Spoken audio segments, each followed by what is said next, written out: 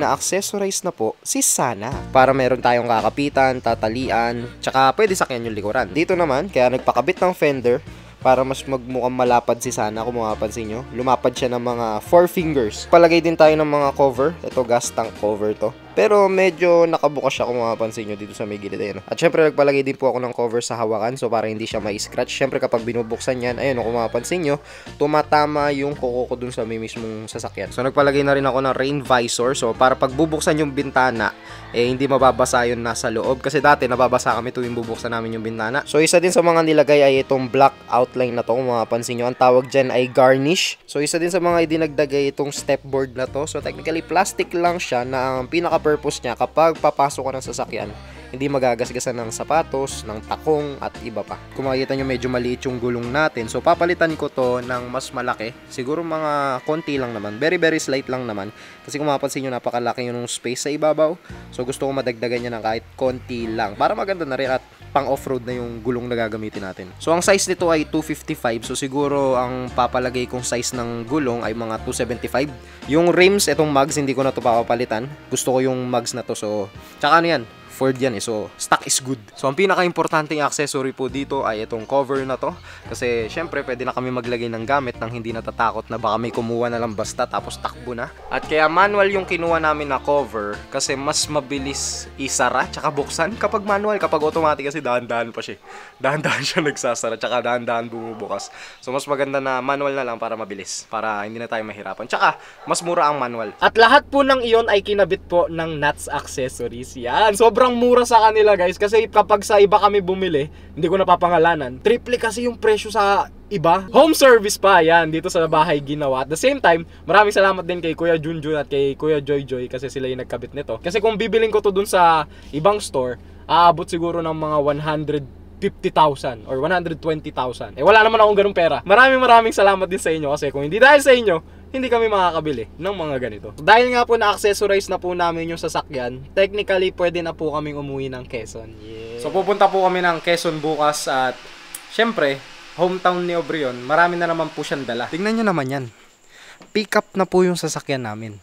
Apakadami pa ring dala ni Aubrey. Ano ka? Nag-upgrade ng sasakyan. Nag-upgrade din ng dala. Lahat po yan kay Aubrey. Wala akong gamit dyan kahit isa. Oh, may gamit ako dyan kahit isa. Ha? May gamit ako dyan? Hindi ko lang alam. Oh, hindi mo lang alam. Well, technically yung iba dyan, gamit ko na, hindi ko na ginagamit. Kaya iuwi niya sa kanila. Pero sa kanya na yan, hindi na akin yan.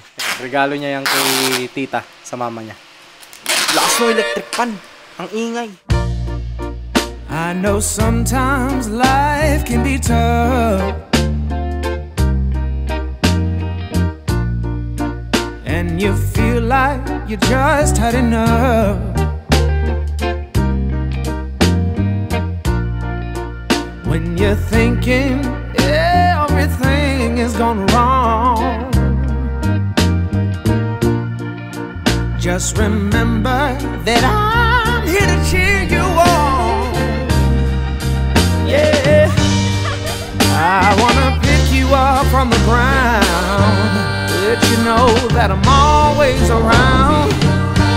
Cause I know we can make it. Yes, we can make it Keep on trying. You got it. I believe in you. You got it. I know you got this. You got it. Just keep on trying. You got it. Na ano man, na-navigate na siya.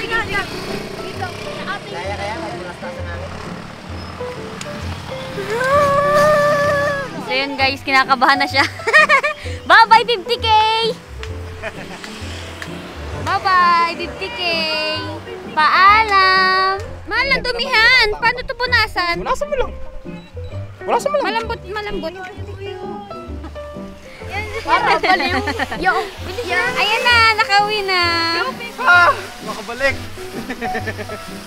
Napakakot ka naman. Yung reaction na ba nila binibidyohan? Oo nga, makasundi daw na likod. Hindi natin narinig. Hindi nga. Parang di na natatakot si Sheka eh. Si baby nalapit na. Hindi tayo kita. Parang kinakabahan mo si Ay, ito, kinakabahan ako pa Ang daming cameraman ni Sly sa likod, dalawa. Parang bangka naman eh. Yung tunog eh. Uy, putik na yon. Katakot. Wow! Wow! Wow! Ba't hindi sumasari bintana? Oh my God. Sarap ako sarap mo. Sarap mo. Masarap ba? Lausanne! Boy, huling-huli! Huling-huli! Ano ginagawa mo siya? Vlogger ka ba? Oh, yes. Kuya, wag, ano, Ah. tinutudo siguro eh. Grabe kayo ginawa yung ano, canvas yung sasakyan ko. Kung ano nung nakadrawing. Mo yung maliit na ano. Naging ko, ano na yan? Star, ya, ano, flower. Basa mo Mamaya. Kung ano ano nandiyan drawing sa likod eh. Gusto ko mamaya. Din ako sa labas. Ano yun? This task? Oh, sige. Sayaw mo. Ano? Mapidyohan mo ko. Nasa Tagaytay na po. Ano ba to? Crosswinds. Yes. Nasa Crosswinds na Oh, po din, kami. nasa vlog, nasa vlog Naka, kita naka, nagbo-vlog din daw po si Nasa Sheka. kita ngayon. Sheka Pels. Say hi ka sa mag-vlog ko. Hello, hello vlog. Welcome to my guys. May ganito sa amin eh. Na. May Dear Joe sa amin eh. Kapit bahay lang namin yan eh. Pwede naman mamaya, lakad na tayo pababa. O tara. Vlogger ka? Yes, Vlogger? vlogger. You're a vlogger?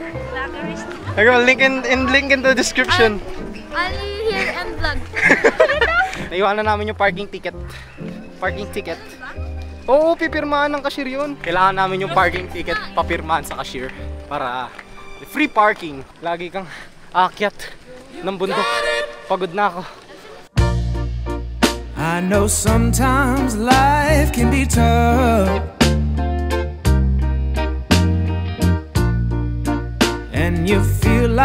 You just had enough.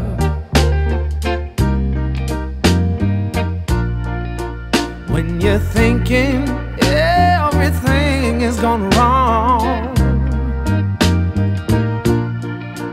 Just remember that I'm here to cheer you on. Yeah. Di masarap. Ang mahalaga, bayad na yung parking. Ay, bawal po maglakad? Ah, bawal. Diyan ako sa may puno. Ah, bawal pala. Bakit? Hindi ko din alam. Baka kasi may ano mga nakatira. Bawal maglakad. Yun oh. oh.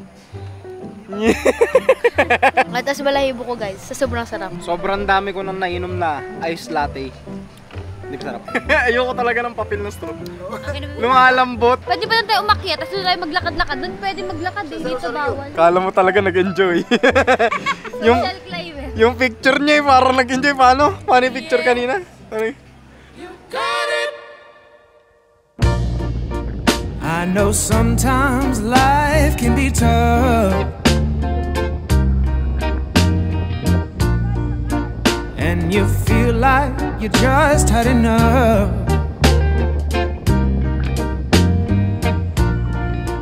When you're thinking everything is gone wrong. Just remember that I'm here to cheer you on. Yeah, I wanna pick you up from the ground. Let you know that I'm always around. Cause I know we can make it. Yes, we can make it if we try. Keep on trying. Malinis pa to. So today is car wash day. Kung mapapansin nyo naman, yung loob ng sasakyan, ayun oh. Yun oh. Puro putek. Pati sa loob, puro putek at kalawang. Linisan mo na ako. Sheka, ganda sa pukin. Kung ano-ano ginawa ni Kiko yun. Nag-drawing pa ng ano pa to, si Suko na. So today, kami po ay magpapa-car wash dahil gawa nung pumunta kami ng Tagaytay. Ang dumi-dumi na ni sana. ha? Naulanan siya ng tatlong araw. Tapos naalikabukan, inakyat sa bundok. Hindi, nagpunta pa tayong Tayabas, di ba? Saan? Nagkain tayo ng nanay si. Ah, yun. Lumusong sa ulan at marami pang iba. Kaya ipapakarwash namin siya today. At pupuntahan namin si attorney. At asan yung Yema? I know sometimes life can be tough. And you feel like you just had enough.